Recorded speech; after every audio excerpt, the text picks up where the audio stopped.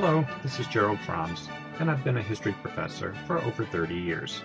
I want to invite you to join me in an exciting adventure story concerning Hernando Cortes, who with his conquistador army in the early 1500s conquered the Mexica kingdom under Montezuma.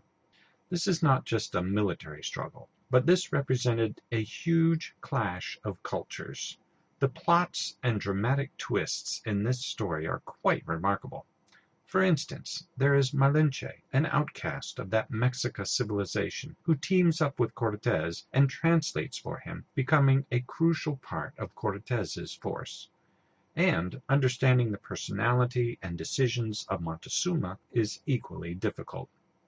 That's why it's going to take me four and a quarter hours to tell this story.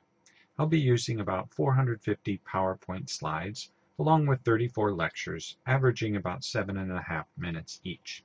We'll be looking at the Mexica civilization, then looking at their collision with the Spanish conquistadors, concluding with an epilogue and some thoughts as to the legacy.